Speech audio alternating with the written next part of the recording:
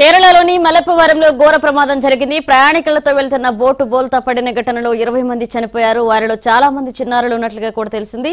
ముప్పై మందితో వెళ్తున్న బోటు తువల్ తీర్థరాం తీరంలోని తానూరు ప్రాంతంలో మునిగిపోయింది. అగ్నిమాపక పోలీసులు రెవెన్యూ అధికారులు ఘటనా స్థలికి చేరుకుని సహాయక చర్యలు చేపట్టారు. ప్రమాద విషయం తెలుసుకున్న ప్రధాని మోదీ దిగ్భాంతి వ్యక్తం చేశారు. మృతుల కుటుంబ సభ్యులకు సానుభూతి తెలిపారు. ప్రాణాలు కోల్పోయిన వారి కుటుంబాలకు రెండు లక్షల రూపాయల నష్ట ఎక్స్గ్రేషియాన్ని ప్రకటించారు.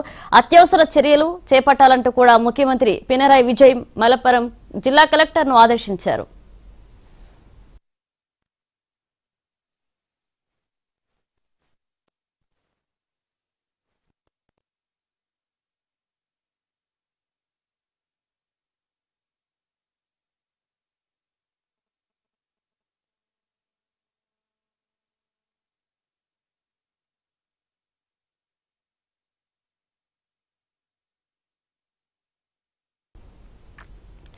కేరళలోని మలపవరంలో ఘోర ప్రమాదం జరిగింది. ప్రయాణికులతో వెళ్తున్న బోటు బోల్తా పడిన ఘటనలో ఇరవై మంది చనిపోయారు. వారిలో చాలా మంది చిన్నారులు ఉన్నట్లు తెలిసింది. ముప్పై మందితో వెళ్తున్న బోటు తువల్తిరాం తీరంలోని తానూరు ప్రాంతంలో మునిగిపోయింది. అగ్నిమాపక పోలీసులు రెవెన్యూ అధికారులు ఘటనా స్థలికి చేరుకుని సహాయక చర్యలు చేపట్టారు.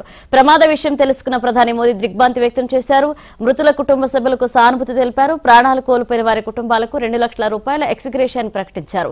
అత్యవసర చర్యలు చేపట్టాలంటూ కూడా ముఖ్యమంత్రి పినరాయి విజయ్ మలపవరం జిల్లా కలెక్టర్ను ఆదేశించారు.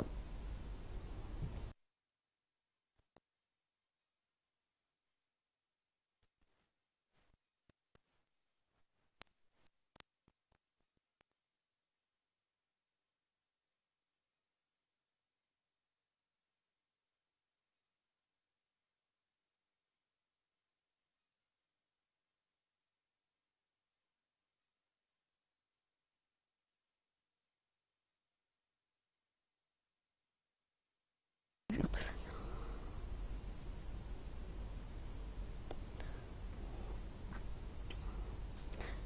కేరళలోని మలప్పవరంలో ఘోర ప్రమాదం జరిగింది. ప్రయాణికులతో వెళ్తున్న బోటు ప్రమాదంలో బోల్తా పడిన ఘటనలో ఇప్పటికే ఇరవై రెండు మందికి చేరింది మృతుల సంఖ్య. వారిలో చాలా మంది చిన్నారులు కూడా ఉన్నట్లు తెలిసింది. ఈ బోట్లో నలభై మందితో వెళ్తున్నట్లుగా కూడా తవల్తిరామ్ తీరంలోని తానూరు ప్రాంతంలో ఈ ఘటన చోటు చేసుకుంది. అగ్నిమాపక పోలీసులు రెవెన్యూ అధికారులు ఘటనా స్థలికి చేరుకుని సహాయక చర్యలు చేపట్టారు. ప్రమాద విషయం తెలుసుకున్న ప్రధాని మోదీ దిగ్భ్రాంతి వ్యక్తం చేశారు. మృతుల కుటుంబ సభ్యులకు సానుభూతి తెలిపారు. ప్రాణాలు కోల్పోయిన వారి కుటుంబాలకు రెండు లక్షల రూపాయల విషయాన్ని ప్రకటించారు. అత్యవసర చర్యలు చేపట్టాలంటూ కూడా ముఖ్యమంత్రి పినరాయ్ విజయ్ మలప్పురం జిల్లా కలెక్టర్ను ఆదేశించారు.